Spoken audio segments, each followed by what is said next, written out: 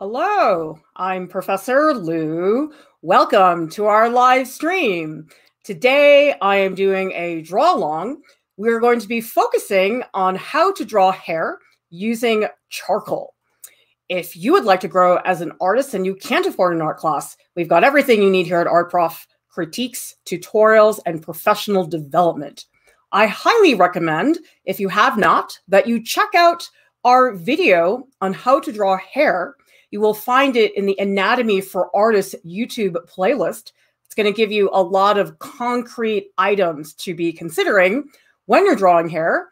And as always, I encourage you guys to draw along with me. You can use any media you want. Post what you create in the Art Prof Discord. You want to put it in the Art Alongs channel because after the stream, I will be hanging out in there and I love seeing what you guys create. Now, if you would like to download higher resolution images, we do have a link in the YouTube video description below where you guys can get those because it's much better to do that than to draw directly off of my screen. Okay, I want to just do a quick introduction on supplies because actually I have not done a charcoal draw along in a long time. I feel like the last one I did was a couple years ago. But I want to show you guys the supplies because I find that so much of the time, the reason why people have trouble with charcoal, it's because they don't have the right tools. And not only do they not have the right tools, but they don't have enough tools. So the first thing I would say, charcoal paper makes a big difference. It has a tooth, which allows the powder of the charcoal to get gripped by that tooth you can live without charcoal paper. If you don't have it, it's not the end of the world, but it really makes a big difference. And I happen to really love the texture of it. I'm using Strathmore. And by the way, all the links to the supplies that I'm using today, they're in the video description below. So if you guys want to look those up later on, you can. I always have three different kinds of charcoal. So today, because it's hair, we actually are going to be using quite a bit of charcoal pencil and they come in different hardnesses. So this one's extra soft. We have soft and we have medium. I happen to really like the soft ones because my issue with the hard ones is that sometimes there's like a rocky spot in it where it's a little bit inconsistent, doesn't work so great. And I find that the soft charcoal pencils, that's really not a problem. So I happen to stick with those. And then I have two different kinds of charcoal. So here in my right hand, this is vine charcoal, really soft, easy to erase, but it does not get that dark, which is why I think it's really important that you guys use compressed charcoal with the vine charcoal.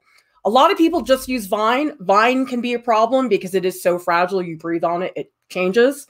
Compressed charcoal is a lot more solid, but it's hard to erase which is why for most people, they don't tend to use it until they feel very well established with their sketch.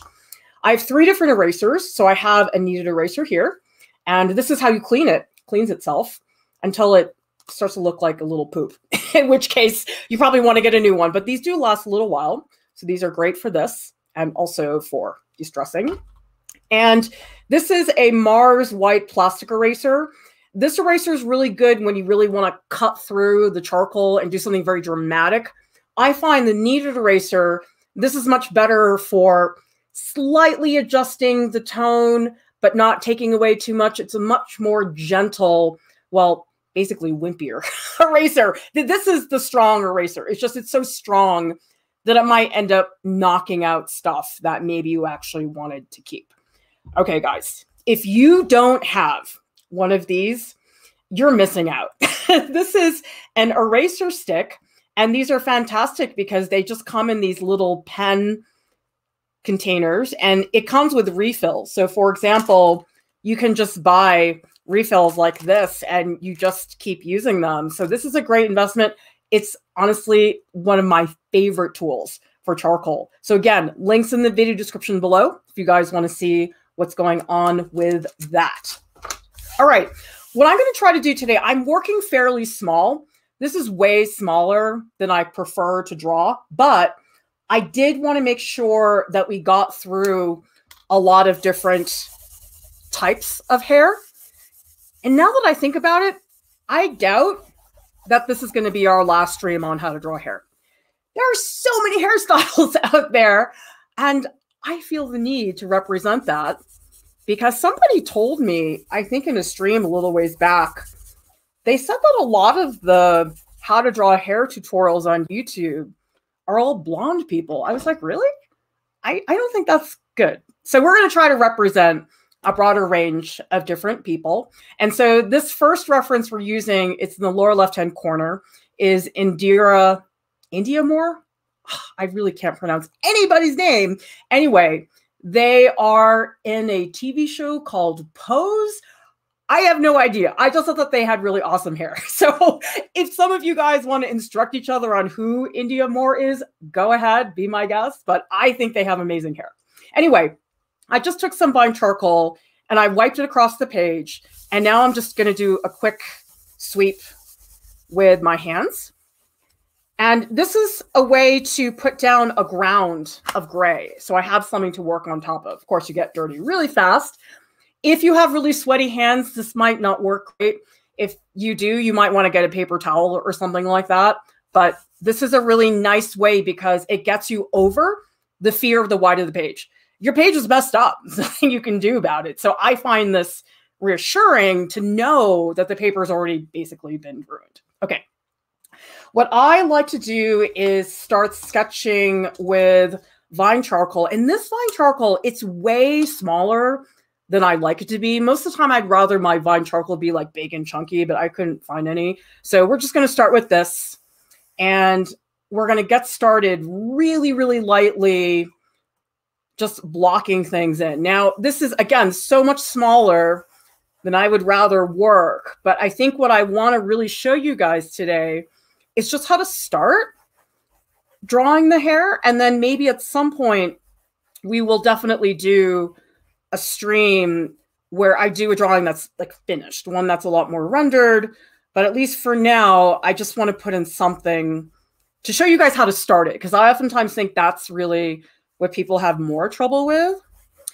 So the the key really you guys is to put in the hair early. That that's what people don't do. I mean, I see people they do this beautifully rendered face that looks incredible but then they don't do the hair until they're almost done. So you see, I've worked on the drawing for about 30 seconds. Boom, the hair is there. I mean, how could you draw this portrait and not put the hair in immediately? It's such a critical part of somebody's identity. Okay. So now that I have the mass, I want to think a little bit more about the bone structure. And again, I'm not going to do that much work on the figure, but it's like when Jordan and I we did that stream the other day on how to draw hair. And we were talking about how, well, you know, we're just drawing clothing, but both of us are still going to bother to actually draw in the rest of the body because it's like it doesn't make a lot of sense. So, although I'm not going to spend a huge amount of time on the face, I do need to spend some time on it because it's weird to like draw hair without putting it in context. That's my feeling. You need to put it somewhere. So let's get in, of course, our eye sockets, which you guys should know all about now because you've got your anatomy lectures to be studying.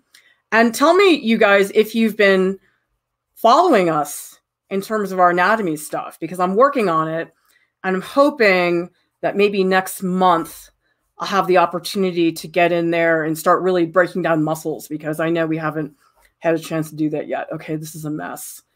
Ugh. See, I'm already picking. I should not be doing this. Move on. Okay. If you're like me and you didn't move on, you got to do it right now because that's what I'm going to force myself to do. Okay. So, what I'm going to look at is not individual hairs, but the general direction of the hair. So, like this hair moves upwards. There's a hair that goes horizontally. There's a clump that goes this way. So, this is more building up the structure because there's a curl mass that comes down here. There's one that goes below it, and there's another one that's a little bit more curvy. Okay. So these are just really simple ways to look at the direction of the hair to break it down so it doesn't feel so overwhelming. Because I do think a lot of people would look at this and go, oh my God, I don't know where to start. That that's very natural for people to feel that way. But that's what you have to not get seduced by. You have to think about the general direction of where things are going. Now, of course, as always, I will be taking breaks from drawing to look at the chat, answer questions. So when I'm drawing, I will not be looking at the chat because sorry, I just can't multitask that way. But if you have questions, please feel free to ask me, put in the chat, and I'll scroll up when I'm taking a break. So that way I can see what you guys are talking about. Ooh, 10,000 Crows did some research. Okay. Their name is Indira Indra. Sorry, I don't know if I mispronounced. Musician, daughter of a social worker and jazz musician. She's named after the Hindu warrior deity of the sky and the rain. Very cool. I like that.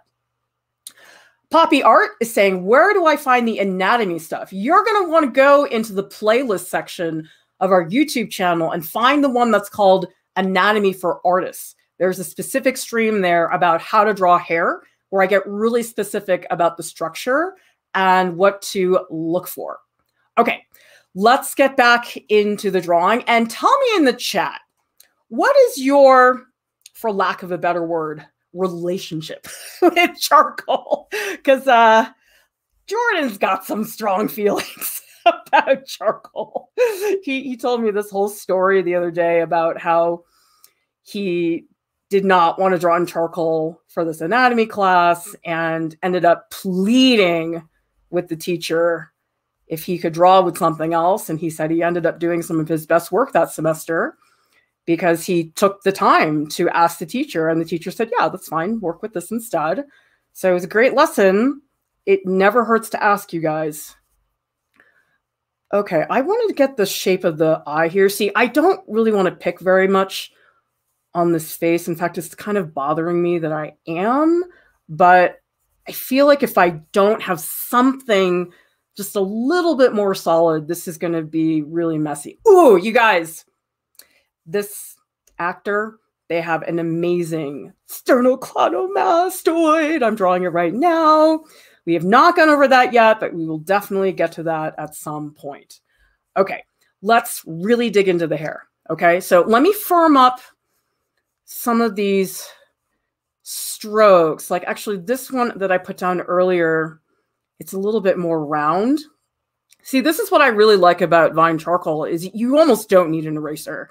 I just mush it with my hands and it's so easy to get rid of. I mean, eventually that is something that does become problematic because sometimes people do really nice work in Vine charcoal and then they realize, oh my goodness, this is so fragile, it's going to get ruined. And so at a certain point, you have to move on. I actually think that for a lot of people, they spend too much time with the Vine charcoal and it messes you up. So you don't want to stay with it for too long, but right now I need it because I'm trying to figure out some of the bigger shapes. A lot of squinting today, guys. Really important because I can't get seduced by the individual shapes. So really what you're looking at is what I talked about earlier, which is you create the mass, which is the whole thing, and then you break it down into the direction of the hair. Which way is the hair going? Okay. And actually, this is a good spot. There's one big curl that comes down here and it goes a little past her ear, their ear, sorry. Um, and I guess there's a little hair back here. I think I should do some more squinting. I think I'm messing up the eyebrow, but I don't want to fuss too much in that area. You know, I think the face should be a little wider. Again, I don't want to get too picky about that because really this is more about what I'm doing with the hair but it's like you can't help yourself sometimes. you know, it's like it's hard to leave it alone when, when you know you could do better. It, it's hard to step back and make that happen. Okay, so now what I'm going to do is I'm going to actually start blocking in some of the tonal range with the compressed charcoal. I know for some of you guys, this might seem a little bit insane that I would go in this soon, but honestly, if you do too much more with the vine charcoal, you're going to get screwed later on because then you won't be able to get rid of any of it. Okay. So these strokes that you're putting in, well, assuming you're following me, you can do whatever you want. it doesn't matter to me. Um, these big chunks, they might feel too dramatic, but they're helping me map out the structure of the hair. So what I'm going to try to do now is separate between these like highlighted curls that are in the middle because there's three of them and I'm looking for big chunks of black that are coming down like this. So you'll notice also with the compressed charcoal that I draw with the side of it. I don't draw with the tip because I think oftentimes if you draw with the tip, first of all, it makes you really tighten up a lot. And also you can't be as efficient. Like when I do this, I can fill in very large areas. I also draw looser. So if you guys have not ever really drawn with the side, definitely take advantage of that. It's a huge difference in terms of where your drawing is going. Okay, and then I will do a little bit on the face, like zygomatic arch. We got the mandible here. Awesome and our beautiful sternocleidomastoid. Oh, awesome. And then a pretty dramatic shadow here. So you'll notice that in my drawing, I really try to stick with the side anytime I can. Let's bulk up some of that. Don't fuss because you know what?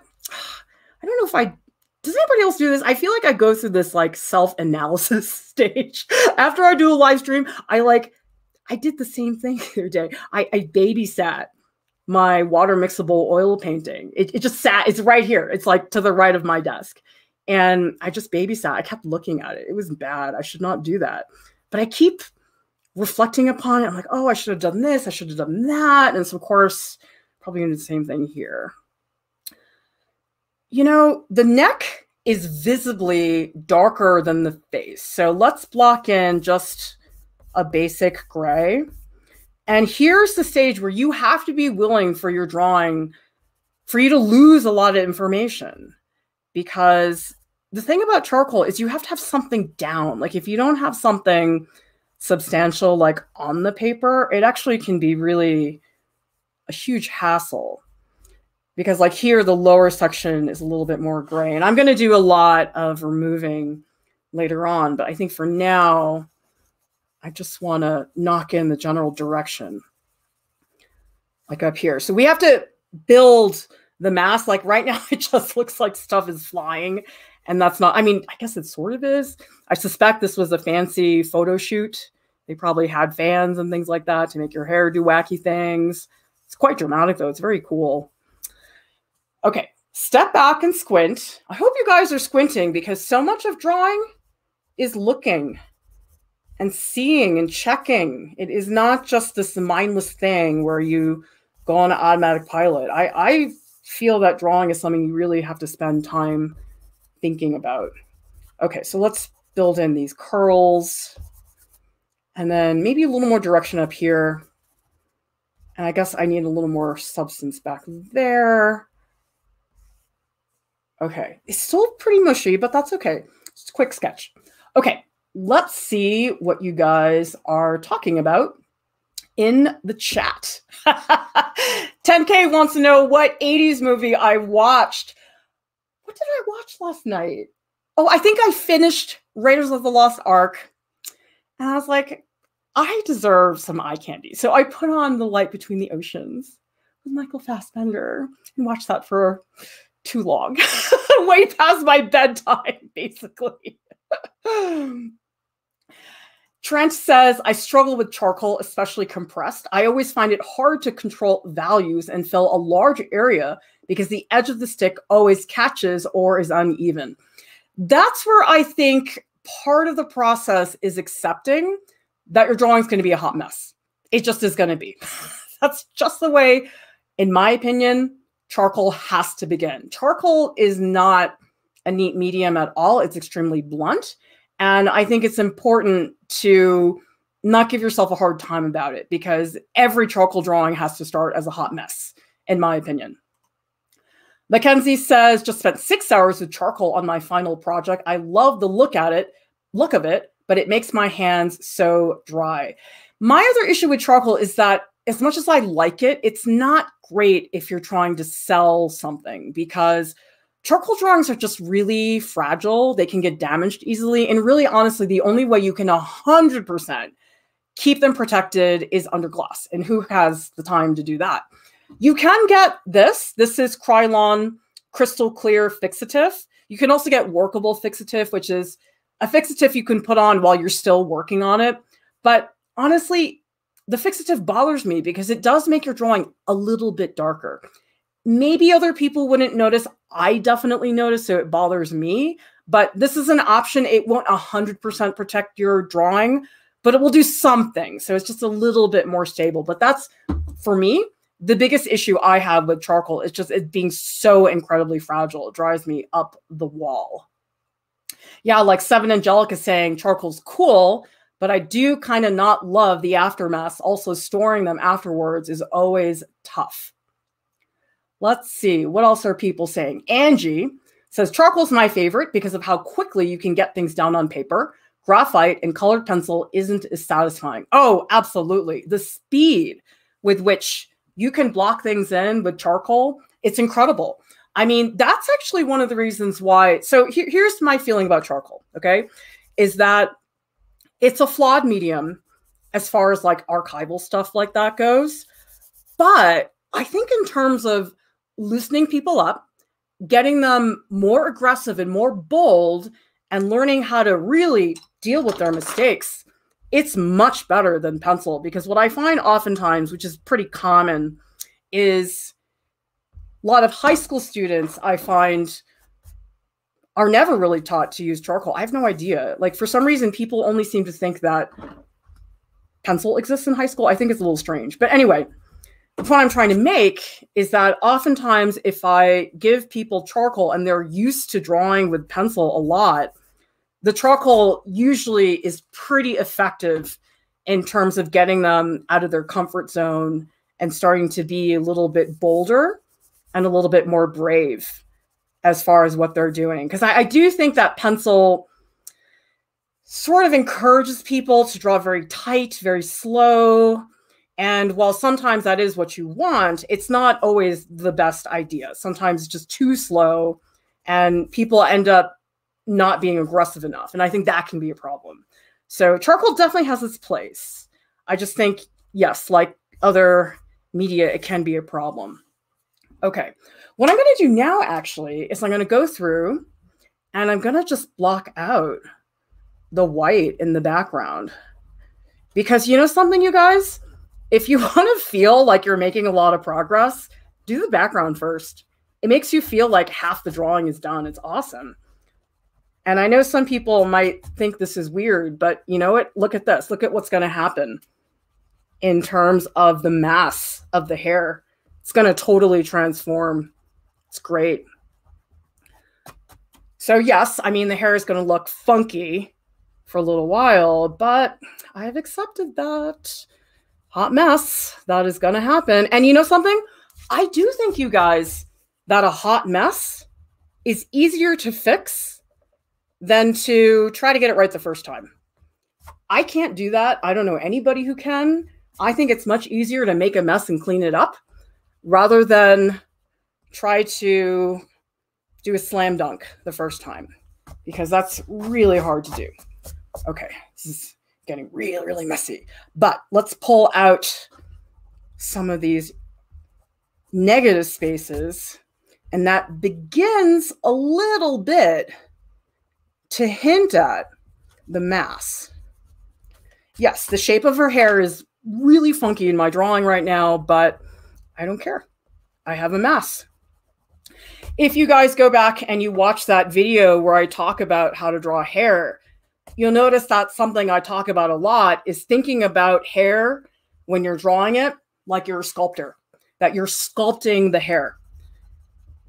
Like if somebody gave you guys a clunk of clay would you make little thin snakes and curl them all up to make somebody with curly hair? No way. There's no way you would do that. You would probably build a mass on top and then you would pull out individual forms. And so that is the mindset you want to have. Drawing hair is not just a technique, it's also like, how do you go about doing this? Like, what is your approach? So don't tell yourself that technique is everything because it definitely is not. Okay, now here is where I think my eraser stick is definitely going to help me out. I just want to get rid of some of this negative space first. I think, oh, I feel like there's so many issues with the face, but I sort of don't want to mess with it right now just because I want to spend more time in the hair. But too bad, I just went in and I did it. I think the eye is a little bit too, a little bit too low. So I'm just going to pull that up a little bit. And of course, the nose got all funky in the process. So let's bring back, actually, let's use the eraser stick. Oh, you guys, if you guys don't have one of these, you got to ask this for whatever holiday you celebrate. Got to get one of these guys. Oh, it's the greatest thing. In fact, I need to cut it because it's like pulled out a little bit too much. So I'm just going to take my knife. I'm going to just trim it a little bit because if it's too long, it does get a little floppy and I don't like that. So I'm just going to fix that. Actually, the lip should come out a little more. So let me make some fixes. It's easy to get really hung up on the face, and I suspect that's what I'm doing right now. Come on, Clara, stop it. Oh, guys, giving advice and following through on it are two different things, for sure. Okay, so at the very least, I'm going to stop fussing here. But do you guys see what this did? Like really carving that negative space out of that background. So even though the face and the hair don't look great right now, at the very least, you have a sense of the mass. Okay, so in here, I'm going to think about that transition from the hair into the side of the face. And here, you know, something I probably do have to do a little bit of work on the face because I need to pull out the, the color difference because the skin here is so much brighter than the hair that it just, it wouldn't make sense if I didn't do that. So let's just pull out some cheekbones. Oh, this feels good. I just love a new kneaded eraser. It's just so fun. Oh my gosh. Greatest thing ever. Yeah, I really don't use charcoal that much in my own practice today. I used it a lot when I was in high school, but not so much now. And obviously a ton in art school as well, but um, not recently. I always felt sort of like a hypocrite because I would make the freshmen at RISD draw with charcoal, and I'm like, oh, I kind of don't like it myself. But it's good for, like I said, for like training reasons. It's it's a good thing to have. Okay, I mean, I could sit here and fuss over these muscles all day, but I told you guys I was going to teach you how to draw hair, so I guess I better stick to my agenda. But let's just knock in a couple more highlights on the nose so it's not so terrible. You can always come back and do more. So this is where your eraser stick is so helpful because it can get into little areas that are just really a pain with the kneaded eraser. The kneaded eraser is just so like incredibly mushy. It's big, it's blunt. I mean, that that's what those tools are really difficult to deal with. Okay, I know the face is not good, guys. I would fix it, but I need to work on the hair. Okay. okay. Let's do this. So let's do some squinting. And I'm going to start doing some more direct drawing with the tip. You notice that's a pretty big shift because in the beginning I was very against using the tip. But now I'm going to start really using the tip so I can get more specific, start pulling out some of these strokes and varying also the pressure. So you'll notice the further the hair gets away from the head, it gets lighter and lighter. All right. So if you start here, actually, I have to get rid of some of this back here. I think I have way too much down at the bottom. Yeah. Okay. So for example, if I start up here and there's this pretty dramatic curl and it comes up like this, I'm decreasing the pressure. So here I'm pressing dark. Now I'm pressing dark and now I'm going lighter and lighter. Okay. So change the pressure of that hair because I think the thing is when people put down lines of hair, they tend to make the lines too similar. So variation in line weight and pressure, all those things are going to make a huge difference for you guys when you're drawing the hair. Because like up here, it's more like atmosphere. I mean, I suppose there's a couple marks you could pull out, but a lot of it's pretty subtle. Like here, I'm pulling out this mark going this way. It's more about the direction. Okay, now there's a big chunk of black here, and I'm looking for shapes of black, like this shape here. And actually here, it gets a little bit smudgy, so maybe I should show this transition right here. So this transition from the forehead into the hair, because people make this edge way too sharp. And it's like, it looks like a wig. It looks terrible. So make sure you don't let that get too sharp. Like that. And keep your drawing pretty loose. So I see like a really big pocket of black here. So I'm actually going to break my compressed charcoal. There's like a big shade of black. Tell me, you guys, do you find this hair challenging to draw? I think a lot of people find hair that's curly. Although I don't know, I think straight hair is sort of tricky too because it's just not as much to draw. This is sort of the opposite where there's so much to draw. It's like people get very overwhelmed. But sometimes straight hair just looks really flat. Like I think it's hard to draw hair that's straight and make it feel volumetric. I feel like with curly hair, it actually is easier to make it look more three dimensional.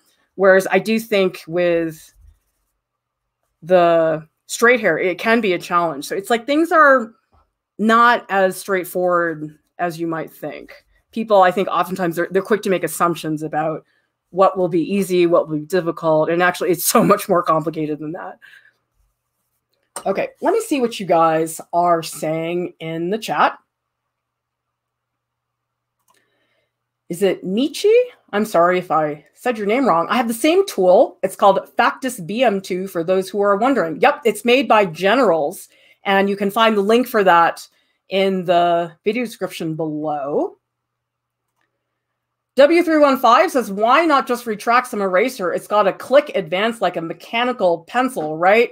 Yeah, but I'm so picky about it that it had this roundness to it on the tip, and I wanted that like sharp, crisp edge. I don't know, call me picky, but uh, that's how I feel about that. Mackenzie says, Do you have any favorite white charcoal? Everyone seems to love Conte, but I can't get behind it. Well, here's the thing this is my personal taste, okay? And this doesn't necessarily work for everybody.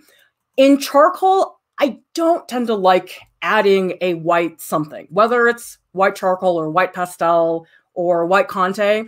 I don't tend to like that very much because there's two problems. The first thing is it's hard to make that white really blend and fit into the charcoal drawing unless you put it everywhere. You know, like sometimes every time I taught freshman drawing at RISD, we do these charcoal drawings. There's always somebody who would come in and they would like try to fix like one spot with white charcoal or something and you could always see it from a mile away and the reason why is because the color of the paper it's not the same as the color of the white pastel or charcoal and so you end up with these competing white tones and usually the white Conte crayon is like a little more blue maybe the paper feels a little more brown so then you have like a big color issue and so I'm not really a fan of it for that reason.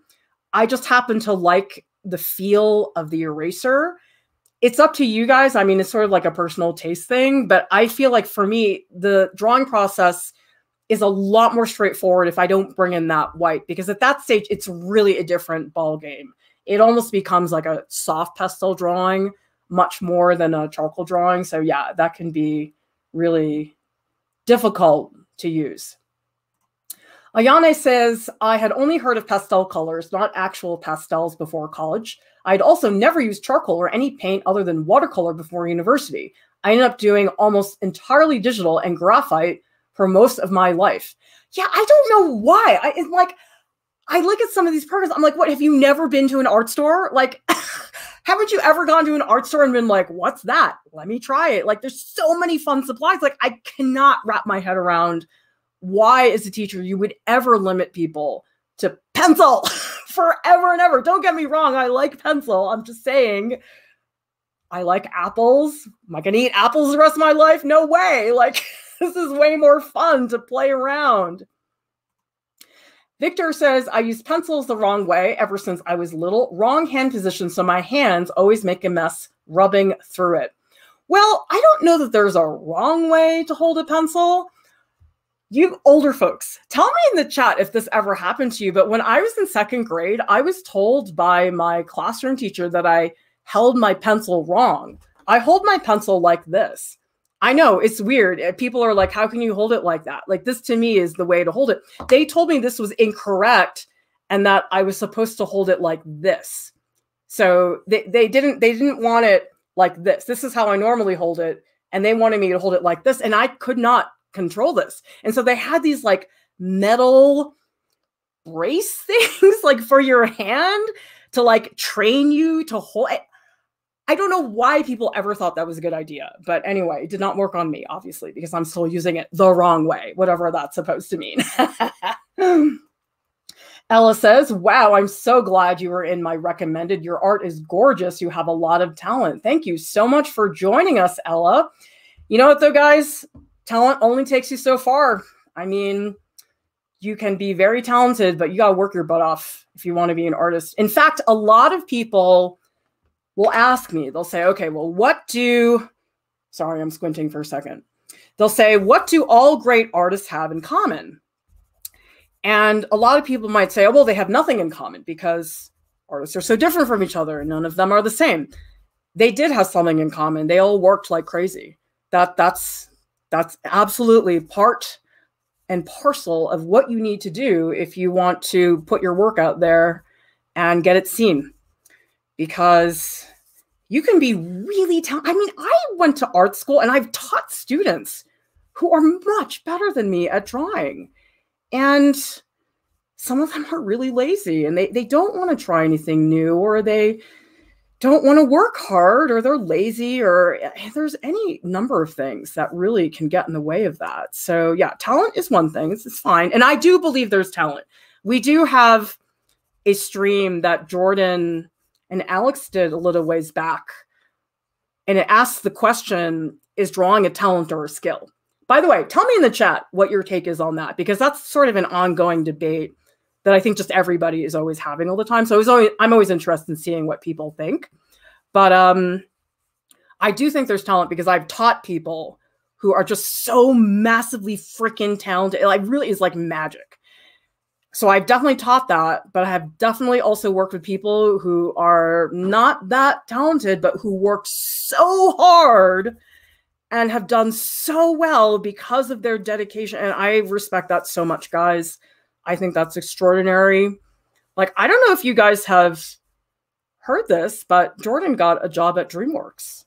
And that wasn't because he sat around, because Jordan's one of the hardest working people on this planet.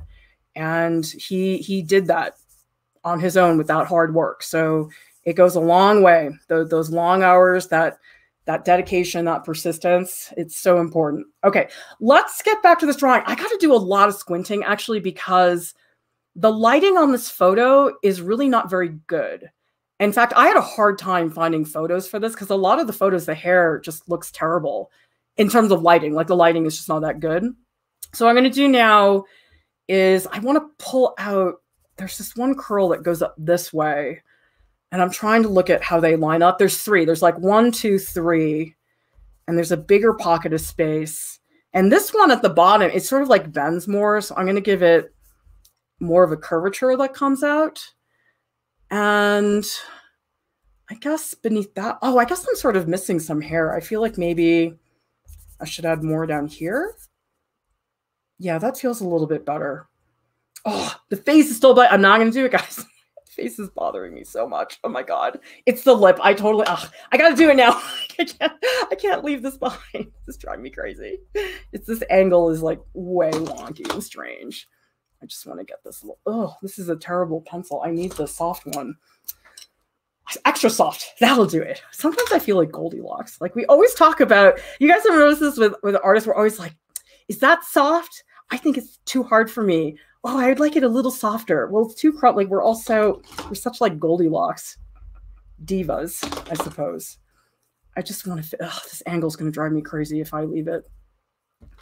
Um, I just want to pull up the nose a little bit. I promise. I promise. I'll work on the other stuff soon. I promise.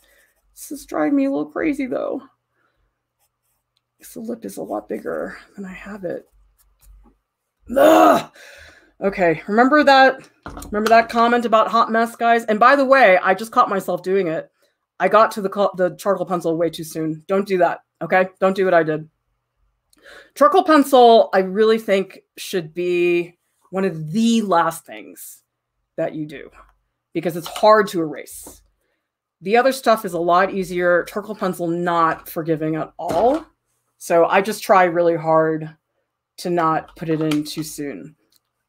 Okay, and I do want to make the eyelash a little more substantial because I think it's weird to not have that. Okay, that's a little bit better. Okay, let's start doing some erasing so we can start pulling out some of the highlights. We may we probably will not get to all the reference photos, but that's okay because we'll get to them in another stream. I just like to have too many just in case, like backup. Because um I did want to do Eva Mendes because Jordan and I both are in agreement that she is hot. She's really hot. Because you know, Jordan's favorite, one of his favorite movies is Hitch with Will Smith and Eva Mendes. And I he got me to watch it. And I'm like, yep, she's she's hot. Oh my God, she's incredible. So anyway. All right, and now I'm going to start to really dig in a little deeper and more dramatically maybe a little bit more mark making back here, just lightly showing texture, not individual hairs, texture. There's a very big difference there, guys. And then I'm going to pull out a couple more. But it's like you want to insinuate that there's texture back there. Think about the variation, the physical pressure that you have in your drawing and vary it. Don't let it be the same. And we'll go back in here with an eraser at some point to really get in more. Okay. And actually, sorry, lots of charcoal dust and eraser gunk going on in there. So this one comes behind their forehead. And there is like an individual hair there, but I'll come back to that. I want to show more of the mass. It's coming off in this direction like that. Okay, it's time to do more squinting. You know what I'm going to do now? Actually, I'm going to come back and I'm going to come behind the hair. Maybe I'll switch to the, maybe not the eraser stick. Okay, maybe the Mars eraser. So this is something you guys can try is that as much as you can erase around things, to get the mass, it's really helpful to go back and do that here. Like if you look at this, do you guys see these like little pockets of negative space that are in between the hair? I mean, this is where it's like, oh man, that eraser stick is awesome. So good for this. In fact, this is too small. I'm going to do it with the kneaded eraser first, and then I'll go back in and do a pass because you, you can get picky if you stick with the eraser stick too much. There is such a thing as maybe abusing the privilege of having an eraser stick. Yeah, see, like here you can see there's this one negative space that sort of cuts through the hair a little bit more dramatically. And then up here, I'm going to really clear it out so that this part breathes a little bit more. And then that gives the hair a little bit more shape and same thing in here. I'm going to pull out some negative space. So that's what I like about charcoal is this back and forth. You take it away, you put it back, take it away, put it back again. And that can be very helpful. So like here, I can see the negative space creeps in a little closer. So I'm going to pull out some of this. So I think the misconception for a lot of people is that like you only draw the hair, but you don't. You draw on the hair, behind the hair. It's a whole series of motions that you have to put yourself through. And like up here, I'm going to actually soften some of the edges with my kneaded eraser. And hopefully that helps clear up some of that space. I do need to fix this nose. This nose driving me crazy. But again, I know, I know we're not here. I just love faces. Sorry. I know I'm not being a very good influence right now. Okay. Let's see what people are saying in the chat.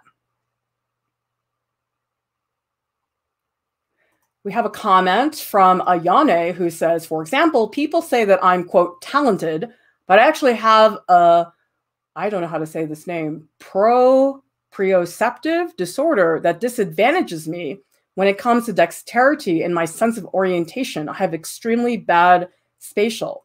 Oh, interesting. Wow, I had no idea about that. And let's see.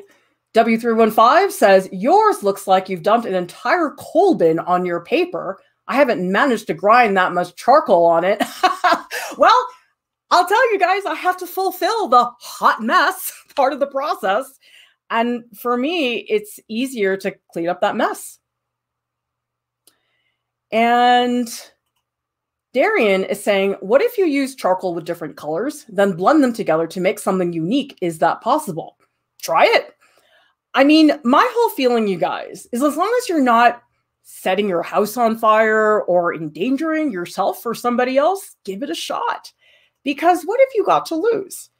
You do it, it looks terrible, you don't do it again, right? That's the nice thing about art is that there's not a lot of issues there.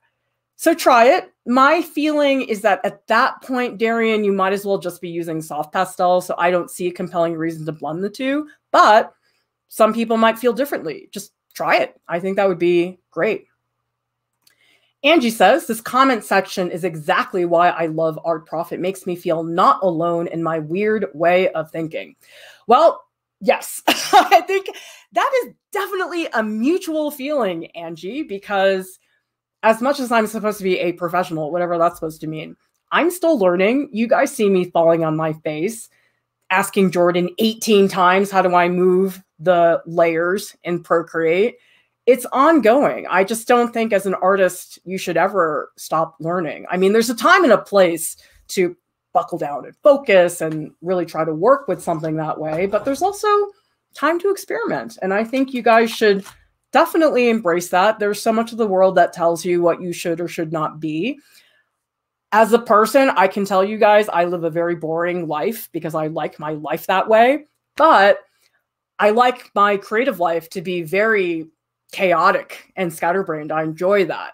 Like in my real life, I'm not one of those people that's like, I'm going to go live in Antarctica for six months. Like I would never do that. Not one of those people. But in terms of trying something wacky with my artwork, I am totally game all the time. Monique is saying, great lessons here. Thank you. Well, thank you so much for watching, Monique really happy to have all of you guys here. Shay says it's just my opinion, but the hair in front of the hair seems a bit flat. Okay, so I love it when you guys give me comments, but I'll tell you one thing, okay, is that I am not at a stage, in my opinion, that I'm ready to pass any judgment on my drawing, okay? Because I do think you guys, well, I think critique is so helpful and very useful it can get very distracting if you start worrying about stuff like that when you're in the trenches. Tell me in the chat if that is something that you guys experience because I know that for me I I just I can only do one thing at a time. So oftentimes what I do is I make the piece, I put it away, I don't look at it and then I look at it because if I start like critiquing myself, it's all over. I'm to have a really hard time. So I would just say to you guys that it's important to ask yourself, like, okay, critique is always helpful, but is it the right time for the critique to come in? And for some people, maybe they do want the critique really early. For me, I'm just getting started, so I'm not ready to pass judgment on it yet. I will eventually, trust me, there'll be plenty of that later on. But for now, I just need to draw. Sometimes it's just really that simple. Maria says, I think that people sometimes think that artists are like in the movies. I think that visual artists are not that quote unique. They are people who think in a visual way and solve problems like that. Yeah, I mean, I'm sorry, it's just not that romantic a lot of the times. Like all this stuff about artistic. I'm like, nah, I was taking a shower and I thought of something. I mean, it really can be that boring sometimes. So, yes. All right, let's work on pulling out some of the areas in the hair. So, I think I'm going to start with the kneaded eraser. Let's see how much this does. It might not be strong enough. If it's not, I'll go back in with my eraser stick. But eh, this isn't bad. It's a little mushy. I don't like the mushiness, but you know what? I'll go back in with the charcoal pencil and we'll figure that out later. So what I'm doing is pulling out any of the, the brighter curls. So a lot of this with hair, it's like you got to be selective. You can't pay attention to everything. You just can't. There, there are some points where you have to say, you know what, that, that's a section. I'm just going to let it go. Because you know what, just because it's there in the reference doesn't mean you have to draw it you can choose and say, you know, I don't want to add that. It's fine. I think a lot of people feel this obligation towards a reference photo that, oh, because the photo has it, that means I have to add it. Tell me in the chat, do you guys feel that way?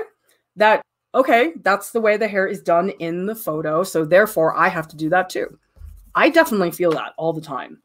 And so oftentimes, what I do with reference photos, if I'm using them, sometimes I'll actually go into Photoshop and I'll blur them on purpose because sometimes I don't want things to be quite so clear. So if I have a reference photo that's messier or has fewer details, I'm a lot less likely to feel that obligation. And I know in my head I don't have to, but I think sometimes it's like when the information is there, it's hard to not use that information because you're like, oh, well, it's all there. I might as well. But it, it doesn't always make your drawing better. So tell me in the chat if you guys have that experience because I definitely do for sure. Where I feel like, oh, well, the reference has it. I guess my drawing must have to have that too. Okay. Um, here, I'm going to try to make the gradient a little bit better because I'm noticing that the core of the black is here and down here at the bottom. And here it's actually a lot more gray. So here I'm going to pull out some of this texture, just so like value wise, that whole area is a lot lighter. And actually, let me um, reset the focus because now that I've started drawing, sometimes it changes the focus a little bit. Okay, there we go. Okay, so I've pulled out, got to squint more. I think I got to pull out more here. This is what I like about charcoal. I really enjoy the back and forth. It's so fun for me. Like you add it, you take it away, you add it, you take it away. It's very sculptural, and that part of it is super, super fun. Okay, so now I probably have pulled out too much, but that's where your handy little charcoal pencil is definitely going to be coming to the rescue. Um, actually, this curl sort of moves down. By the way, who's drawing along? Tell me in the chat if you guys drawing with me, if you're just watching. I know a lot of people will sometimes watch during the stream live and then they'll actually draw along with it later. And you guys can always do that. We love it. And you can come into our Discord. You can show us what you made. It's so fun. Somebody today, literally just a few minutes before the stream, posted some drawings they did from the draw along about foreshortened faces. It's great. So you don't always have to be here live in order to catch that stuff or to draw with us. It's super fun. Okay, so that's too much highlights. Now I'm going to go back in with charcoal pencil and we're going to do some, we're going to have some fun here. Okay, soft. I got it. I don't want soft. I want extra soft. Okay, that's good. So now here's where you can start to like tighten up a little bit better. Start to do some articulation. And what I'm looking at here is the harshness of the edges because some edges I want harsh and some I want to be soft. So I'm really using the charcoal pencil to make some spots more concrete, harsh up the edges, and give it more texture. And you guys will notice I don't smudge with my finger very much. It's up to you guys. My feeling about smudging is that things become very messy very fast. And I don't like that. So I think it's better to smudge with your erasers. You'll have more agency, more control over it. And you know what I'm noticing is that this charcoal pencil, it's like really light. So I'm actually going to use this instead of the charcoal pencil because this is like the wrong color. Like it doesn't match. I think it might be because it's two different brands because this is Generals and this is Faber-Castell. So it could be that maybe their charcoal mixtures are not compatible. I don't know. Who knows? All right. I might do the charcoal pencil for some of the sharper sections, but at least for now, I'm just going to stick with the compressed charcoal until I'm ready for like the really fine stuff that I will get into in a little bit. Okay, so you can see in here in the curls, this is where I really am going to get specific and let myself get detailed like that. And then like down here, they're very pronounced, like very strong highlights down here towards the bottom. And I'll do some smudging and maybe I'll pull out a couple spots with my eraser stick, trying to get for that variation. See, here's where, oh, you guys are going to love your eraser stick. you got to get one if you guys don't have one. Just the greatest tool. Like, I, I'm usually sort of skeptical when art stores or manufacturers they come up with some new thing and it's like ooh try this new tool we have. Most of the time i'm like yeah whatever. This thing is awesome. This thing is like a revolution in charcoal. It's just the greatest thing. Actually for the longest time i used to buy it from Paper Mate. It was called Tuff Stuff but then they like discontinued it. And so i guess generals like picked up the slack. So thank goodness generals that you guys did that. We very appreciate that all of us who need our eraser stick fix. Very important. All right, so let's use this to get into some more of these textures. And you can see, oh, I just love this thing. It's just the greatest tool. And again, I'm not going for photorealism here if you guys want to do that find another youtube channel. I'm sorry i'm just i'm just not interested. I want something that is more of an interpretation than anything else.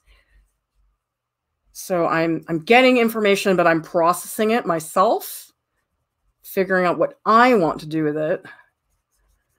Because otherwise in my opinion you might as well just xerox a photo. It's a lot better that way Okay, so I'm using the eraser stick now to break up a lot of spots. So I'm going to spend, I don't know, like another maybe five minutes on this piece. So here's here's what you guys have to do for me. This is your job as the audience. I want you guys to go into the Google Drive link that's in the video description below. And I want you guys to figure out who you want me to draw next. We have a range of actors and actresses. I believe Benicio del Toro is in there. Timothy, oh, what's his name? I can't say his last name. He's going to be in that Dune movie. That dude. I can't remember his name. Anyway, he's in there. Eva Mendes in there. Angela Bassett has sweet white dreadlocks that I think are incredible. So that's another option. So go into the and I want you guys to tell me who you want me to draw next. Okay, check it out. What I'm doing right now is just a couple little touches on the hair. This is where I am literally drawing individual hairs, but I don't leave them that way. I actually go in and I lift a little bit so I get more variation. Because if you come up here and you just draw individual hairs like this, like I'm doing up here, I mean, that's cool. That will definitely get you the texture but it's a little bit too similar. So this is what I'm going to do next. Actually, I need more up here as well. Let's just add more texture like that. So now I don't leave this. I'm actually going to go and I'm going to lift a couple spots just quickly with my eraser.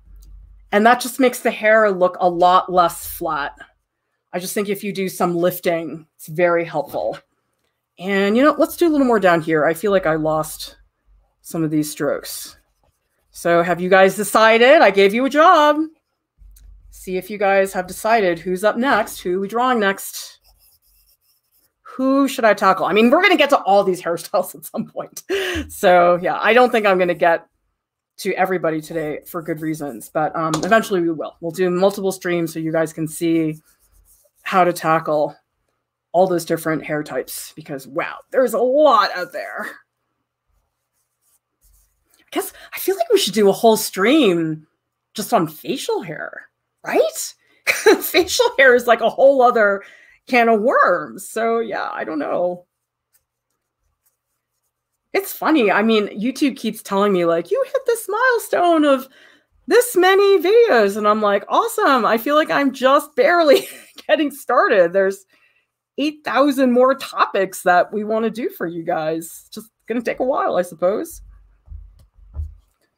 All right, maybe a little bit more at the top. I'm just putting on these little like last wispy strokes. So we get something a little bit more substantial. And maybe I'll finish the face later because this is not a face stream. I would feel bad if we just did that the whole time. But I do want to make this better. I just don't really have time to do all of that right now. Ooh, what we do need, we need, need to make the sternocleidomastoid story better. Okay, let's lift that up. And maybe a little touch of some compressed charcoal down here yeah, again, the face would need like way more work. But at the very least, this gives you guys a sense of what to do. All right. So that's as far as I'm going to take this. I totally could do more, but I want to start the drawing so you guys can see. Okay, let's see what people want. Poppy Art says Angela Bassett. Victor would like Timothée how do you say his last name? Ch- Chalamet? I don't know. He was on SNL the other day. And so that, and somebody said in the Art Prof family Instagram that Timothée was their crush. And so that's why I thought, okay, well, let's, let's make that one person happy. I don't know who they are, but I can't remember. See Cantrell, White Hair Angels. Angie says, Angela, Angela, Angela. Maria says, Angela, because I love her. W315 says Chalamet, I'm scared to do that white hair and charcoal. I know exactly. Trent says either of the guys. I suppose we should. That probably would be more fair, right? Maybe Angela Bassett needs her own stream because those dreads are awesome. I just love those so much. So nobody likes Benicio del Toro. Poor Benicio. Okay. Oh, thank you, Maria. Chalamet. Timothée Chalamet. Okay. Thank you so much, you guys. it looks like it's Timothée or Angela. And hmm, that's tricky. Let, let's do Timothée because just because of the Dune thing. I mean, like, I love Angela Bassett. And yes, she was in Black Panther. She was so awesome in that movie. But Timothée's on a whole PR thing. So let, let's just help Timothée with his PR spiel. Okay, just give me a second. I just need to pull up Timothée. And there he is. He's okay. He's kind of cute. I mean, I don't know. Everybody to me, honestly, this is so terrible. But basically, okay, older folks, tell me if I'm crazy. Basically, to me, if you're under the age of 35, to me, you're 12. I'm like, you're all the same age. I'm like, under the age of 35 is just one gigantic age. And that's the category Timothée Chalamet is for me right now. I'm like, you're under the age of 35. Okay, whatever. like, so yeah. Yeah, 10K. I feel bad for Benicio del Toro too. I bet he's a better actor than Timothée Chalamet, but I don't know. I haven't seen the Dune movie, so I have no idea. Angie says Benicio is aging into Peter Gallagher's twin. Oh, I like Peter Gallagher. I was watching American Beauty the other night, actually, because that was such a good movie when it came out. And it was just on Amazon. I think it was free or something. But I really like Peter Gallagher. He was in that terrible TV show. Did you guys ever see The OC? Oh, so bad. It was so bad, so trashy. but that's that's why we loved it, right? All right, Timothée Chalamet. Let's see how you are. Yeah, he's cute. He's fine. See, it's just I feel like as somebody who's over the age of 40, it's sort of embarrassing to have a crush on somebody that's like half your age. oh, there goes my unit eraser. Hang on. All right, I'm back. All right, Timothée, let's see what you're made out of. um, hmm. I'm just going to take a minute. I'm going to look at his hair. I wonder if he's got, he's definitely got product in there, right? I don't know. I, I I'd be curious. Who thinks he's got hair? I bet he's got totally has hair product. How could you not? okay. Um, I kind of make sure I don't draw him too big because I need to have space to put all these things in here. I mean, I'll tell you guys, I would say 10 years ago, if you had told me I'd be drawing celebrities on I like would have died a thousand deaths, like seriously. but the thing is, it's like, okay, this is me thinking out loud a little bit, okay?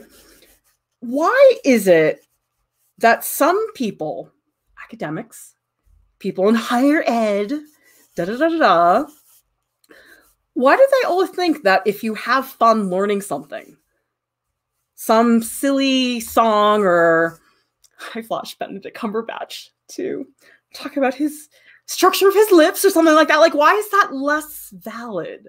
Like, why does everything have to be taught in such a dry, boring way to be taken seriously? I'm like, you know? If my students, if they remember something because I said something silly, great. Like, my whole attitude to teaching now, I'm like, guys, if me doing that gets you to learn, I'll do it. I totally will do it. Although I don't know, maybe that's just what happens when you get desperate as a teacher. You're just like, I'll do it.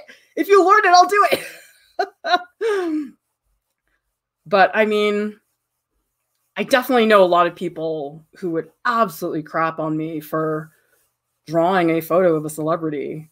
But the thing is, it's like, I don't know, popular culture, it, it works. I mean, I do it with, I'm working with Project Open Door right now, which is a program for teens and sometimes the way to get them to pay attention is to talk about something from popular culture and that you have common ground with.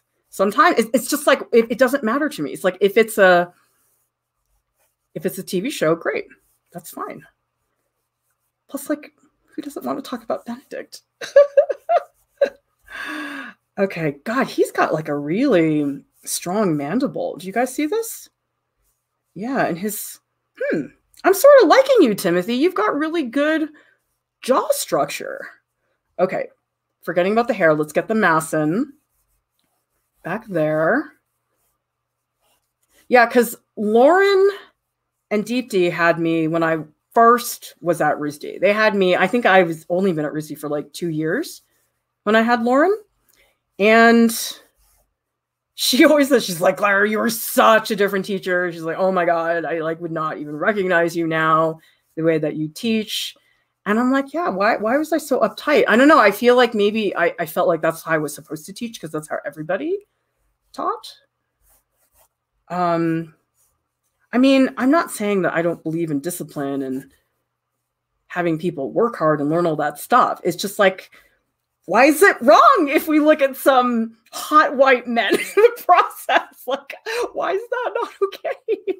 And, and really, honestly, actually, do you guys know why I started adding all my men to my streams? It actually it was from my RISD pre-college class.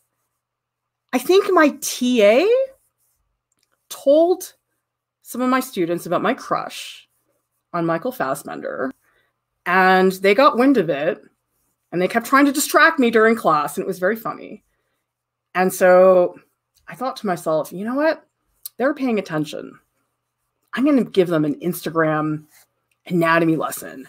And it was so hilarious because like after that i would get messages from the students going like clara clavicle sternocleidomastoid like they learned all they totally retained all that. And it wasn't even an anatomy class. It was because i just happened to be talking about that. And i was like you know that's really cool. I kind of like that. Okay, let's get an eye sockets and maybe the nasal bone. I think that would help Timothée. See, this is the problem with Vine Charcoal. Do you guys see how I've been sort of wiping out the lower section of the face? It's because this is so fragile. So let me just very, very briefly block in the edges and the inside line of the lip. Yeah, I like your chin, Timothée. That's good. Who here has seen? I've never seen him in anything except literally the SNL show that I saw the other day. Okay, let's see what you guys are saying in the chat. Actually, that's a little bit small. You know I should do? I should move my drawing board up a little bit so you guys can see that better. Yeah, that's good. Okay, that lines up a lot better. All right, let me see what you guys are saying. Trent is saying you should listen to Seth Godin's TED Talk, Stop Stealing Dreams. Our modern education system, last 100 years, is designed to train drones for industry. I will check that out actually, because I've read a couple of Seth Godin's books. Some of his stuff I think is really smart. Some of it I think is really vague and hard to apply. That could just be me, but I'll check that out because I do think that he has really good things to say. Maria says, I think there's an academic prejudice on everything pop culture or mainstream with a bit of juvenoia. They think that nothing that is popular has value.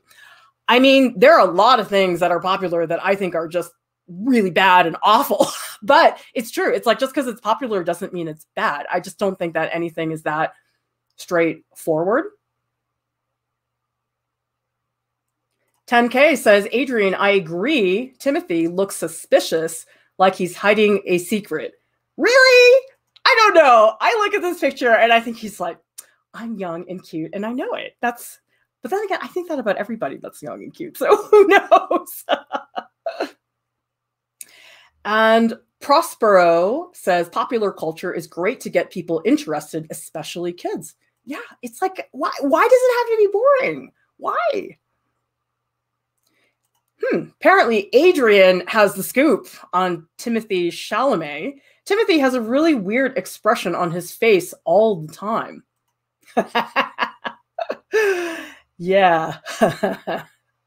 okay, so some of you guys do remember the OC. Oh my God, that was the worst show. It was like worse than Beverly Hills 90210, and that's pretty bad, you guys. and Poppy Art says, My dad looked 12 in his wedding pictures. I know, isn't it a trip, you guys? I know, it's so bizarre to see that. Mackenzie says, I'm 18, so I feel like I'm supposed to be in love with him, but I can never keep up with new movies. I can't either. You know what, you guys? Okay, older people, I'm sorry. You're all just here to confirm my craziness. I can't sit through a movie anymore. I just cannot. Usually within an hour, I'm either asleep or on my way to going to sleep. it's one or the other. I just can't do it anymore. I don't know. Or if maybe this is specific to people that have kids, or if it's just me. I have no idea. Anyway, I want to give a shout out to Boris. Thank you so much for your super chat. We greatly appreciate all the support you guys give us. We rely entirely on donations to keep Art Prof up and running because I think art education should be for everybody I don't think you should have to pay $70,000 a year to get it. And that's why we have ArtProf to make that possible for all of you guys here. Lucy Brown says, looks great so far. Amazing how you can draw things so fast. You know what? A lot of it is training and practice. If you guys are feeling like you want to make your pace faster, just do lots of figure drawings because it's like you just need somebody to light a fire under your butt.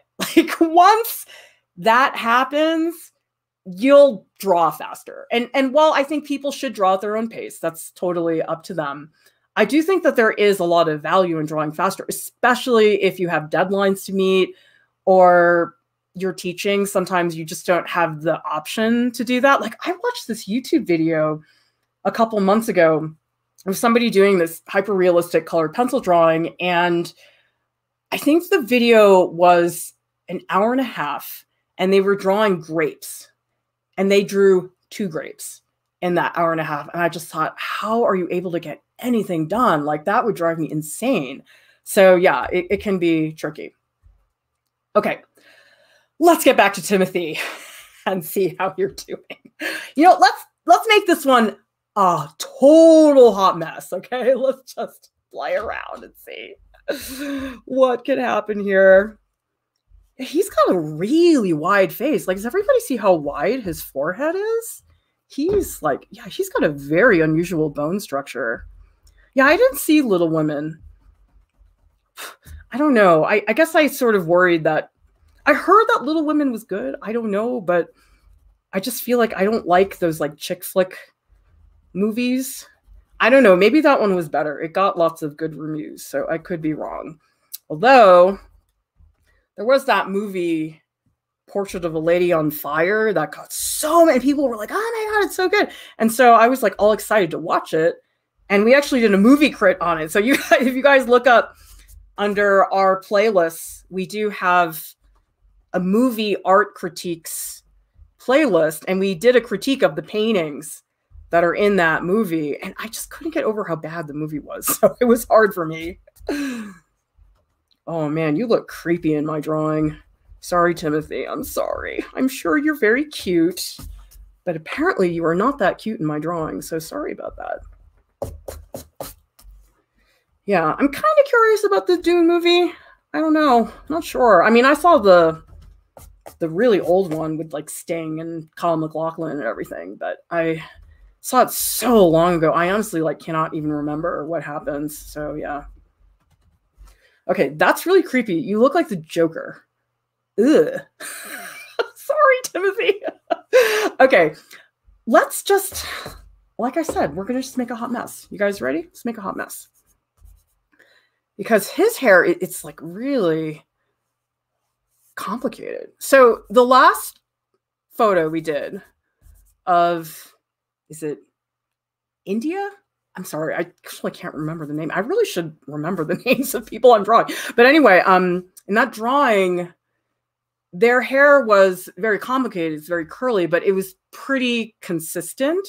Timothée's hair, it's like it goes this way and it goes a little that. Like it's not very predictable what his hair is doing. So in some ways, this is a very different challenge because there's less predictability to the patterns in his hair. And that does, I think, make it a little harder. Although I think now I'm regretting not doing more work on the face because now this is getting to be. Well, I did say I was going to make a hot mess, so you guys can't say I didn't deliver.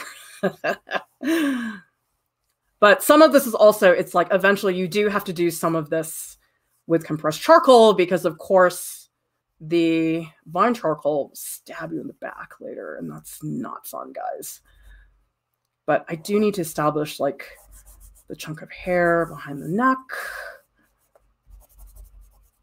Yeah. Okay, so at the very least, that's a couple marks to just establish that. I don't know, his suit looks a little too big for him, but that could just be me projecting on him being like half my age. So maybe that's part of it.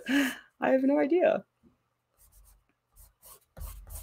This is really fun though, guys. Like I have not drawn with charcoal in so long. I mean, it feels good. It's, it's sort of like memory lane or something. I mean, I feel like everybody at art school has a charcoal experience to speak of, like those late nights. Actually, you know what's the worst is if you teach like a summer class and it's hot and sticky and you're covered in charcoal. That is a bad combination, guys. That I do not recommend you doing.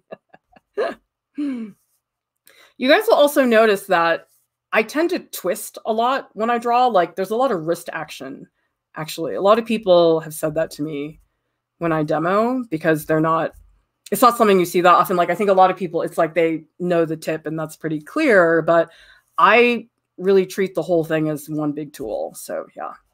Okay, so let's look at this hairline.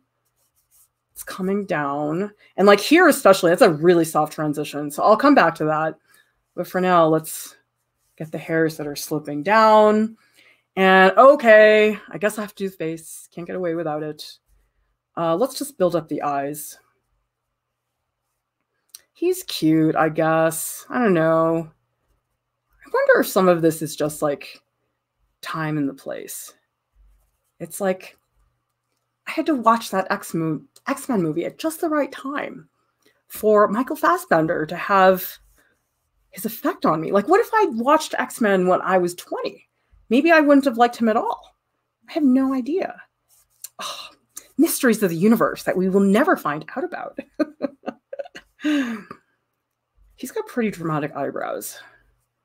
And I am going to whip out the charcoal pencil in a minute, but I do want to see how much of the mouth I can do without doing that. Okay, that's super creepy. I'm sorry, Timothée. I'm really sorry. You do not look good in this. But I'm trying I'm trying to not use the pencil because I know I'm going to get really tight the second that happens. Oh, yikes. Ugh. You guys ever like not want to put in the pupils because you just know it's going to look terrible? Like that's how I feel right now. I'm like, can we please just skip this whole thing right now? Oh, that is chunky. That looks terrible. Sorry. That looks really bad. Oh my god. All right, let's just really fix this up. Maybe just I'll go back in with some vine and just resketch that section because I know that's like, oh, looks terrible. God, he's got a really square chin. I'm like really impressed, Timothée. Timothée Chalamet. Where is he from? Is he American? I have no idea. See, I need to know if he has an accent because that that's a deal breaker for me. I need to know. All right, let's add a couple strokes on this side. So my whole feeling about drawing hair is that you just have to have everything in place. So like a lot of this is not substantial enough. Like over here, I can tell definitely not enough hair, but it's like it's there. Like the fact that it's there, it's like it's holding a place for you. Okay, let's do some more squinting. Let's build this up like that. And actually, I think I need to pull down some of this hair at the top. I think the the overall contour of the hair isn't very good. So let me just look more at the mask because you know what? I think I was getting too sucked into some of those curls and stuff. He definitely has this like big mop of hair. Like that. Yeah, we need more mass. There's definitely not enough mass here. Build some of that up. And definitely this will help too, just a little shadow down here at the bottom. And just so I don't feel horribly uncomfortable, we do have to work on the eyes because, oh God, they look terrible right now. I'm sorry.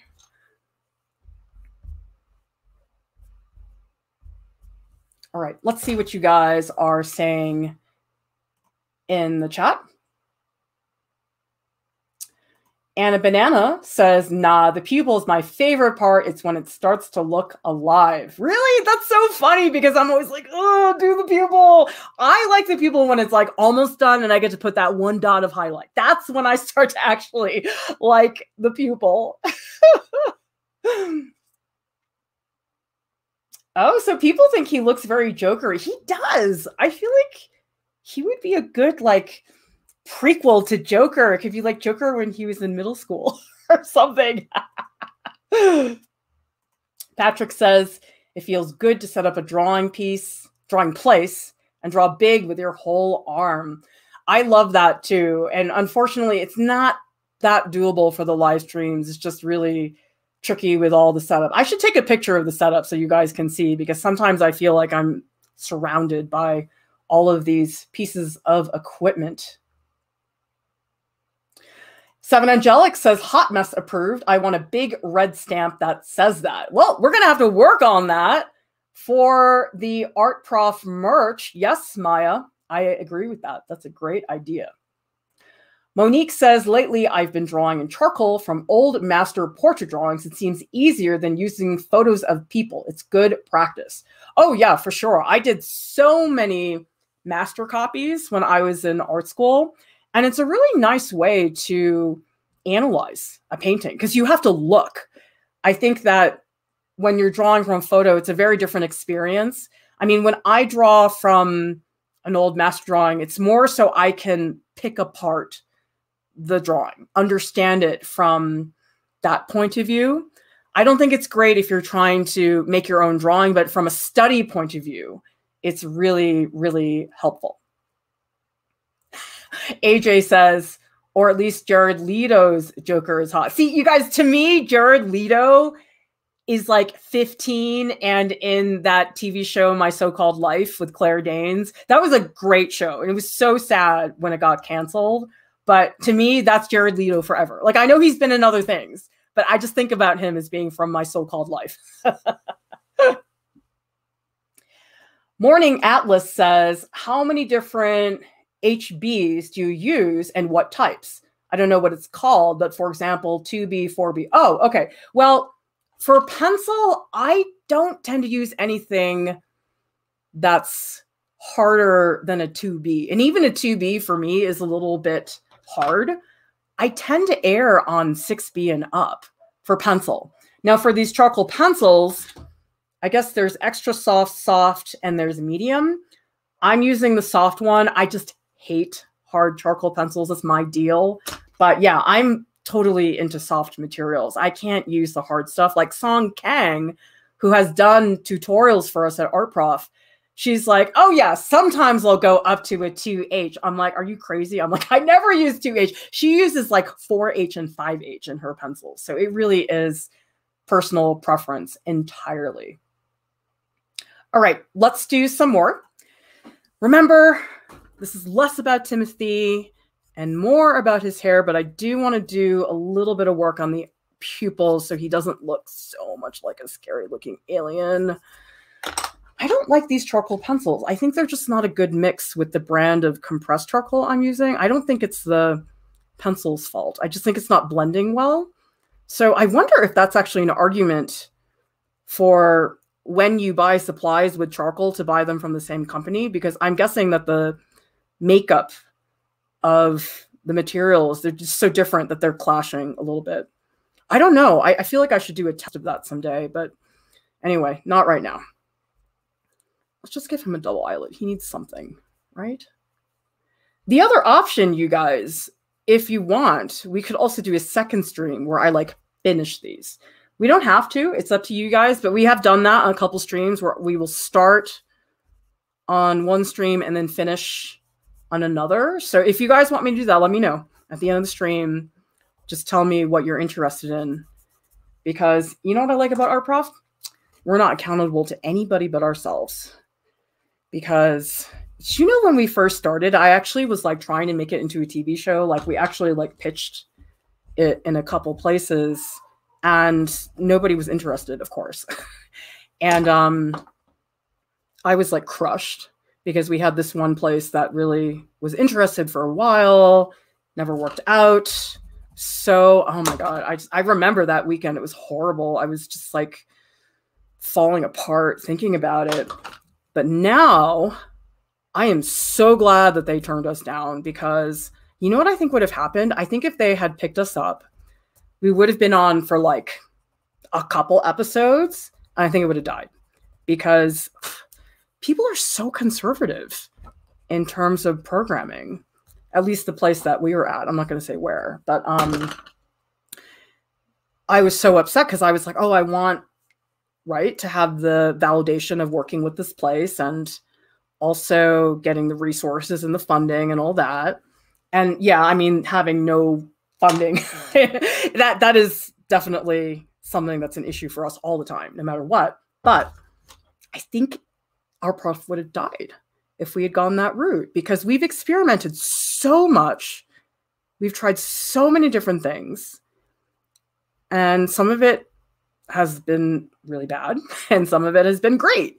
And it's just hilarious to me that I think if we had stayed with them, I, I don't think we would have made it. I think that YouTube was the way to go. It's just people still really look down on YouTube, which I think is hilarious because I'm like, you all use it you guys don't get to crap on something that you all use. Like that's basically a lot of the college professors are doing that right now. Like they all like talk down. I'm like, you guys use it all the time for your classes. So don't even try to give you that crap.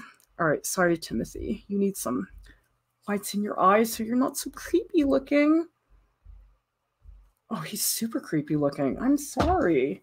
Uh, see, this is the problem with the portrait. Like, there's this whole like psychological baggage thing that makes it really hard to walk away from the face. And I'm totally doing it right now. I can't help it.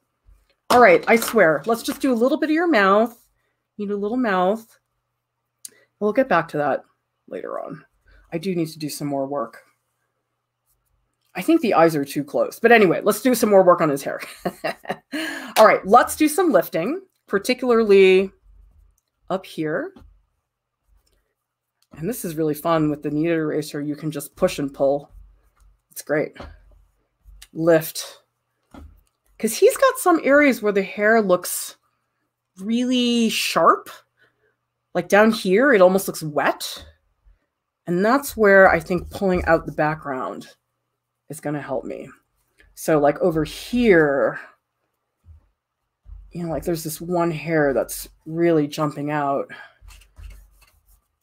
So yeah, I do think you guys, one of the keys to drawing hair, it's like working that contour, looking at that silhouette,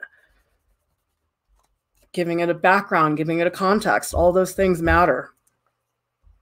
Tell me, you guys in the chat, how many of you have struggled with hair in the past? Do you still struggle with it? What is it that you have trouble with? Is it a certain type of hair or is it just hair in general? I'm always curious to hear. That's the best part about all these streams. Because I actually, I mean, I guess when we first started, live streaming wasn't what it was. That was like six years ago. But um, definitely that's been a huge game changer. I, I just never occurred to me that we would be live streaming. So it's really fun. Oh, Timothy, your eyes are driving me crazy. I Can't leave them alone. Oh, so bad. This is the problem with portraits. It's like there's so much crap. All right. I'm pulling out where I see highlights. So back there, and there's a big mess of highlights here that probably should be done with the eraser stick. Let's see. Actually, this, I sort of lost the neck, so let's bring that back. And make this a little less boring, because I feel like it got boring really fast. Just want to loosen up. I feel like I was getting a little tight a couple of minutes ago, so I'm just putting down some quick marks so I don't fall into that trap. And yeah, there's a lot of negative. See, like all this negative space, the stuff that's like in between the hairs. That stuff's pretty important. Don't forget about it. He's got like a big cluster down here, which is very round. So I'm going to model that a little bit better. So really what you're trying to do with hair, you're looking at clumps, clumps of hair. Clump one here, clump here, clump here. And you're looking at the direction. Like he's got this big curl up here and then this one goes down. So trying to like subdivide the big shapes like this. Actually, you know who has really nice hair? Sherlock. I love his hair in that show. But I had to take a Sherlock break. I was watching it too much. it's like I don't want to like what it's like Jordan and Spider Verse. Like he's like I can't watch it too much. I'm like yeah, I know how you feel. yeah, that's true. Like I had to take an X Men break. I was like Claire, you can't watch this all the time. It's not going to be as good. So you have to like put yourself on like a movie diet. You're like okay, let's not watch this movie for at least a few days, so we can it can taste that much better later on.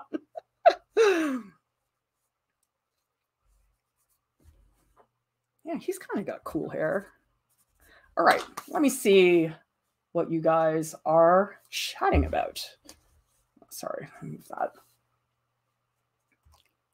Um Shu says, I draw each and every details, making it a tedious process. You don't have to draw them all. Pick and choose. Be more selective because you don't need everything in there. There's a lot that you can lose. You would be very surprised that it's actually okay to get away without those things. Kimberly says, I have no patience for tiny strands. And detailed hair, I can do okay on the face, but the hair is another story.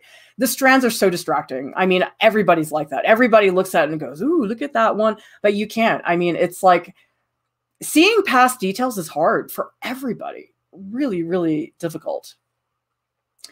Shaim says, I'm basically stumbling around, mostly because I'm still in high school and trying to figure out, quote, art. Keep stumbling. That's part of the process. Anybody who tells you they are not stumbling as an artist, they are a total liar or they're in denial, whichever one you guys want to choose. So that's stumbling around Shaim. In my opinion, that's exactly what you guys need. And Patrick says wild hair is usually the easiest to draw for me. Pretty braids can be difficult. Well, I think it's hard because once you say put hair in a braid, it becomes a tension issue. So, like, if you guys look at Timothy, his hair doesn't have any tension because it's not put up or anything like that. But the second you add tension, it's like then you really have to create this push and pull with the hair. Like his hair is all floppy. So it's like there's not a lot to do there, but it's hard. Vincent says, I have trouble shading and adding depth to the hair. You know what, Vincent? That might actually partially be a lighting issue because even the photo I have right now of Timothy, it's not that great in terms of lighting. I mean, you can see some stuff, but if it were me and I was doing a portrait, this is not the photo I would pick. It's just, it's hard to get these. And honestly, I don't have artist models right now because of COVID. Others I totally do my own. Takeo says, I struggle because it always looks stiff. Yeah, that's sort of the opposite problem where somebody said earlier, oh, I can't draw braids. And it's like for some people, showing the flow and the movement is really, really difficult as well. ComCuke says, in my educational technology class, we had to make a YouTube video introducing an assignment. Starting to be more valued in education, at least a little, it can be a great educational resource. Oh, that's nice to hear. I mean, I wonder it could be isolated to a whole art school hangup thing because they have a lot of hangups in art school. But I suspect when the younger people, in fact, not my generation, basically, when you guys are in charge, then it's going to be different. It's just people my age and above are in charge right now. And we did not grow up with YouTube. And so it doesn't feel normal. It's sort of like this weird thing. I mean, I love YouTube. I think YouTube is amazing.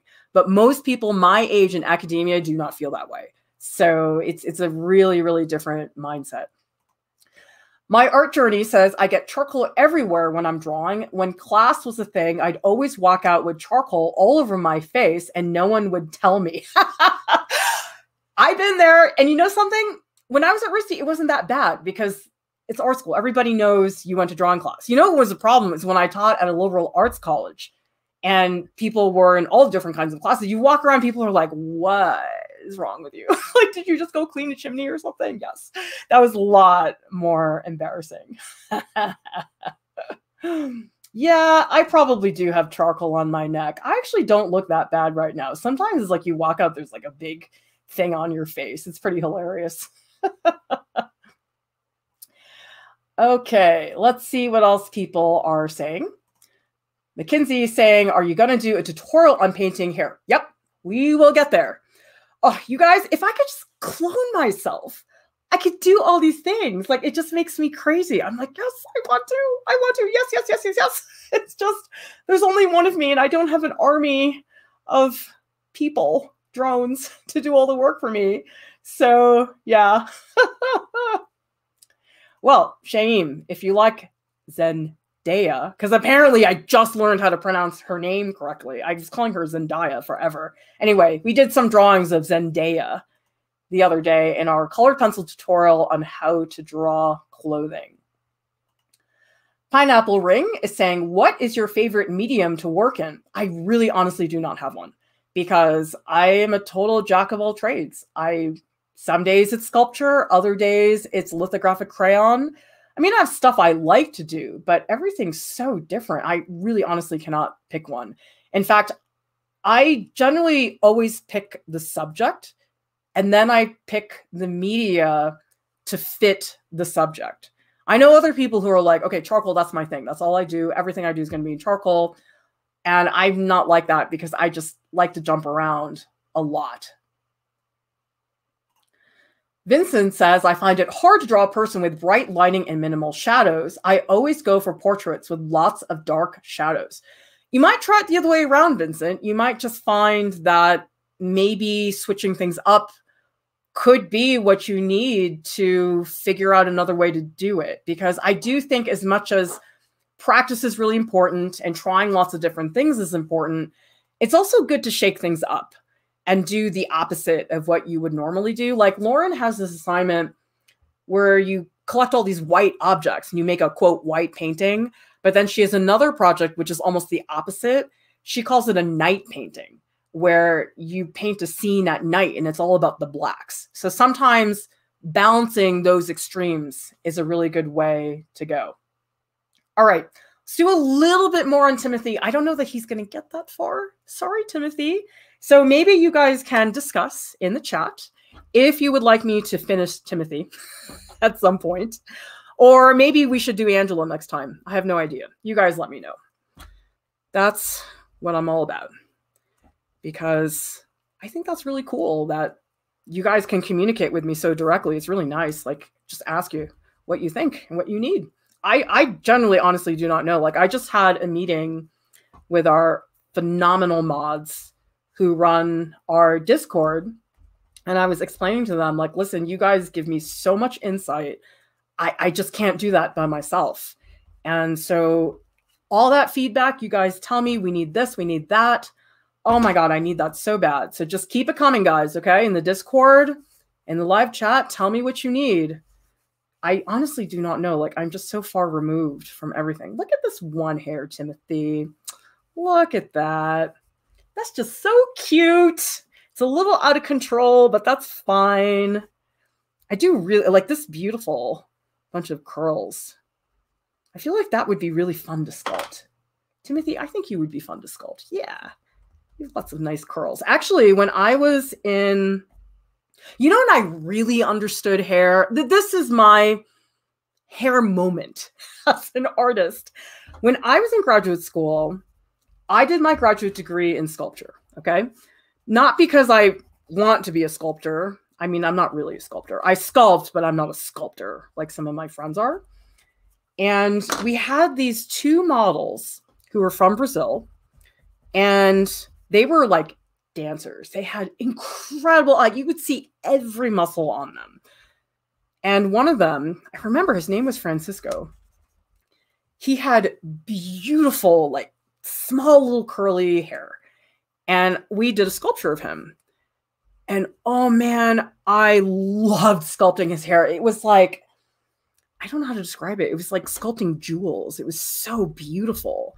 And I feel like that was my moment where I was like, yes, I love sculpting hair. This is the greatest thing. So sometimes it's like you just have to get find a subject that gets you excited because I still I should show you guys that sculpture. I'm sure I have a picture of it somewhere. It's probably in my drive or something, but I'll show it to you because it really taught me so much about hair and what I needed to look at. And it, it just, it was one of those moments where it just, everything made so much sense. It was so cool. All right. Ugh, I just made a big mess of that. All right, Timothy, you need some of these. Ha ha ha. That's really fun. I'm a fan of your hair, Timothy. I don't know if you're a good actor, but did anybody see him on SNL the other day? I don't know. My daughter watches SNL, but I, I think it's just because I tell her to watch it. So I don't know that a lot of the younger generation watches. I feel like that's a very dated show. I don't know. Maybe maybe people still watch it. It's hard to say. I don't trust myself when it comes to anything. Okay we need some eraser stick action, guys, like here. Like there's a highlight here. And I do think you guys, if you're struggling with hair, it does help to loosen your strokes because I, I do think that unless you're doing somebody that has hair that's like massively sculpted, like really stiff and hard, there usually is a, a flimsiness to the way that hair is done. So tell me in the chat, do you guys want me to finish Timothy? Or for the next drawing stream, do you want me to draw Angela? Or Ava or ben- poor Benicio. Didn't get any love. You guys do not like Benicio. He's a cool looking guy. Like not in like a you're hot and handsome, but like he's really interesting to look at. Sort of like Steve Buscemi. He's like really, really unique. Or Willem Dafoe. He's really cool looking. I like actors like that. They're just they're not like conventionally good looking.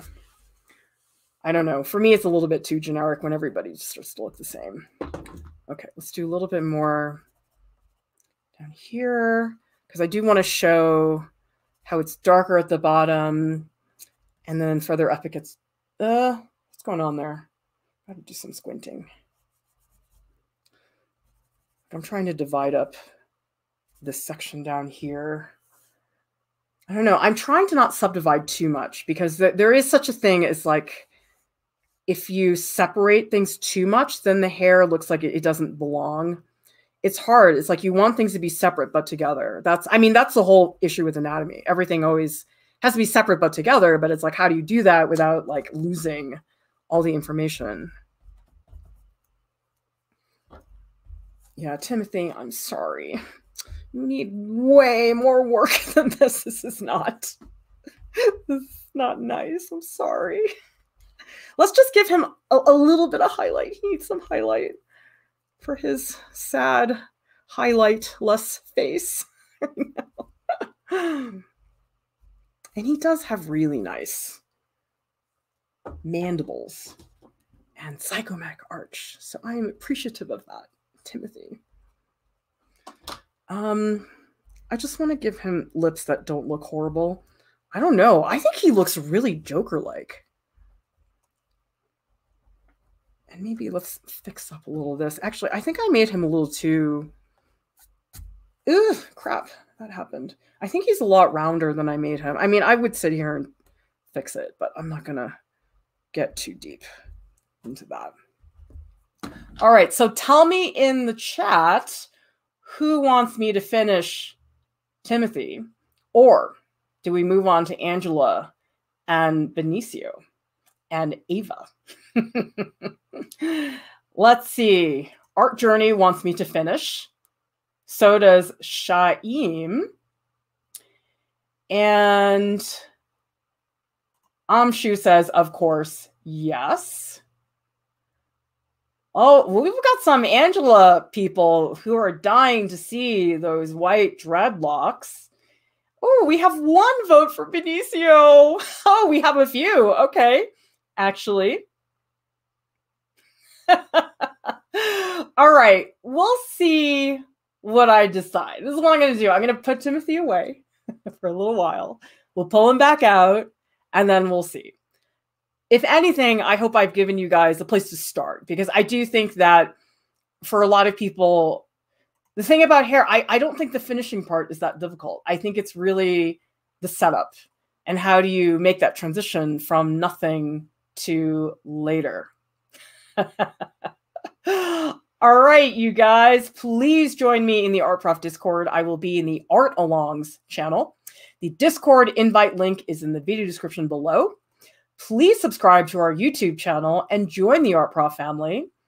And I want to say thank you to our top Patreon supporters for giving us the resources we need to keep Art Prof up and running.